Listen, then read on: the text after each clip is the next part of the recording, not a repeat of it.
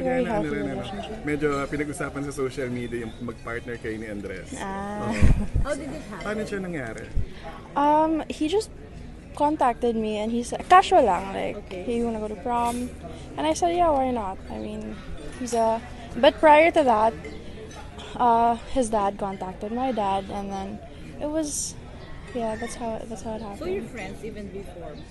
Yeah, we had we had mutual friends naman. Okay. So how was uh, Andres during that night? Was he a gentleman? Of course, of course, we we got along really well. It was a really fun time. Do you have the same interest? We, we do actually. We had we had a lot to talk about. Sa mga netizens na tinutukso kayo, ano masasabi mo? I don't think. oh, we're really, we're really just friends. Okay. Mm. Yeah. Masyado pang bata. No? For Yeah, that. yeah, yeah, Mhm. So, yeah. Iba pa yung priorities namin. kasi Andres, anong masasabi mo dun sa parang nag-trending yung yung friendship niya ni picture niya ng Julian? parang ngayon ka lang namin may interview after nun eh, di ba?